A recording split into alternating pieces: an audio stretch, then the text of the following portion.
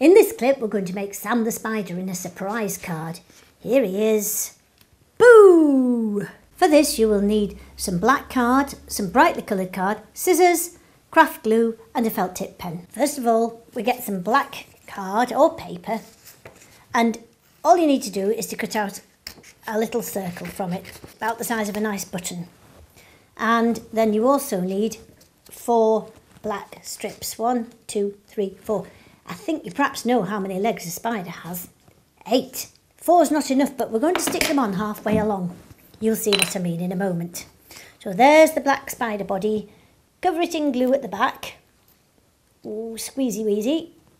And then press the legs on, crisscrossing each other. One goes that way, one's going to go that way.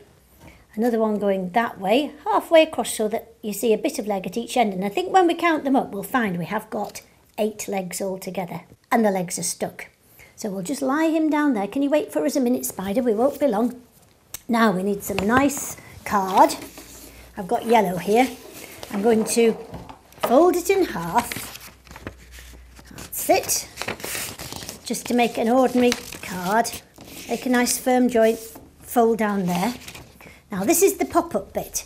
Look at your card, find the fold. Hold the fold away from you. I'm holding it with my thumb and I'm going to do a chop with a stop and another chop with a stop. Can you see what I've done there? That's double. That's the fold and there's two cuts into it. Now then, open it out with my finger at the back, push until it comes out the other way. And there it is, the wrong way round. Pull it and pull it until it's nice and smooth and you should be able to flatten it down. So that's what the card looks like now. And that's where the bit is in the middle. And your card should open and shut quite smoothly. So that's where the spider's going to sit.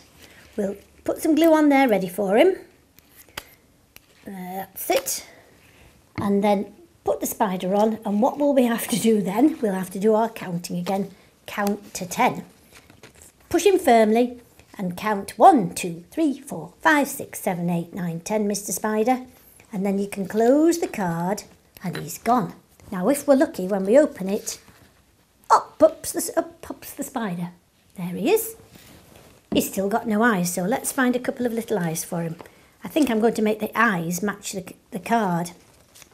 Just cut out a couple of little circles and we'll put a little feature of black in the middle of each one A little bit more glue on the spider's face.